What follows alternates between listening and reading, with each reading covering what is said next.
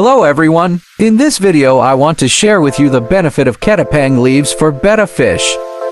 Ketapang leaves are believed to make hickeys free from various diseases, including bacterial infections. This broadleaf plant is also believed to be able to maintain water quality, beautify the skin, and brighten the color of the body.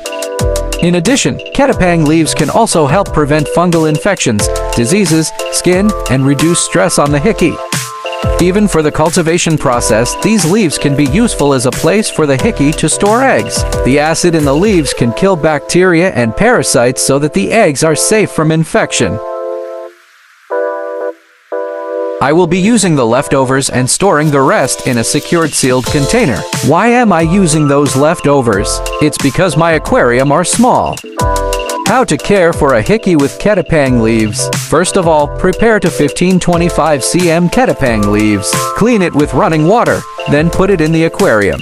This amount is sufficient for an aquarium with 15-50 liters of water Replace ketapang leaves every 2 to 3 weeks to maintain the pH of the water and the health of the hickey.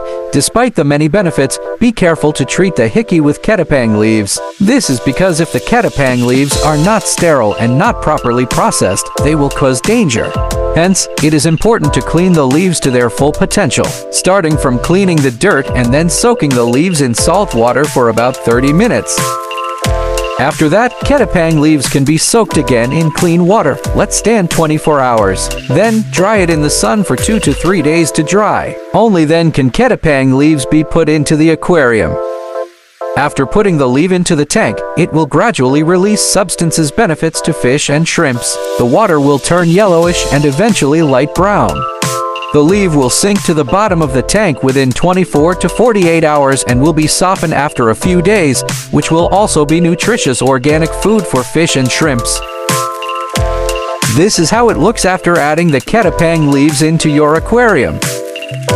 I hope this video is beneficial. Thanks for watching.